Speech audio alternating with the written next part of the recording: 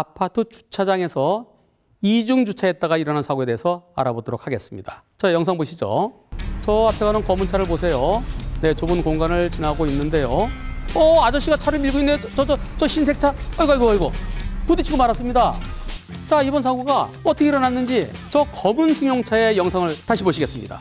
자, 좁은 공간을 잘 지나고 있는데요. 앞에서 차가 한 대 나오고 있어서 비켜주는데 오른쪽 공간으로 들어가던 중에 하필은 그때 마침 흰색 승용차를 경비 아저씨가 차를 밀다가 두 대가 부딪힌 사고입니다.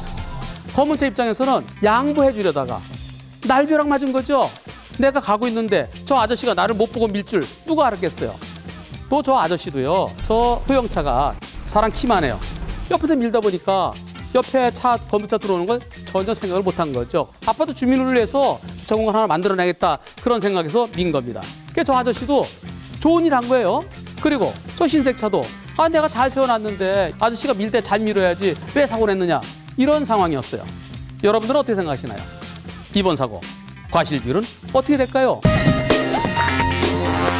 진짜 저 검은 승용차 운전자에게 과연 잘못이 있겠느냐 정말 답답한 상황인데요. 법원에서는 꼬투리 잡을 게 하나도 없을 때 100대 0으로 보는데요. 이번 사고는 검은 승용차에게 꼬투리 잡힐 수 있는 게 두 가지였습니다. 검은 승용차가 거기를 지나기 전에 아저씨는 이미 접근하고 있었어요. 근데 내 눈에 안 보였던 거예요. 내가 신경을 안 썼기 때문이죠. 이중 주차된 차 옆을 지나갈 때 그때 혹시 누가 나오는지 살펴봤다면 아저씨가 그 차에 접근하는 거, 그 손을 대는 걸 볼 수 있었을 거 아니냐. 그때가 거기 지나기 전이었거든요.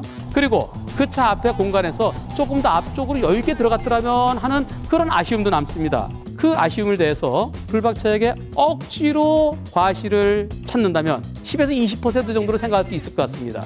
근데 이번 사고는 거기가 소방차 전용 구역이었어요. 차를 세우지 말아야 될 때 차를 세웠기 때문에 전체적인 과실 비율은 검은 승용차 20, 소방차 전용 구역에 차를 세워놨던 경사진 곳에 차를 세워놨던 그 흰색 승용차 30, 차를 민 아저씨 잘못 50 정도로 보이는데요. 한편 이번 사고 검은 승용차에게 아쉬움이 있다 그러면 옆으로 그 공간 들어가는 것 그것도 일종의 진로 변경이라도 볼 수 있어요. 서 있는 줄 알았던 차가 밀리는 수도 있습니다. 누가 미는 수도 있습니다. 따라서 항상 옆으로 들어갈 때는 차가 밀릴 가능성에 대비해서 뒤쪽도 한 번은 확인해 보는 습관이 필요하겠습니다.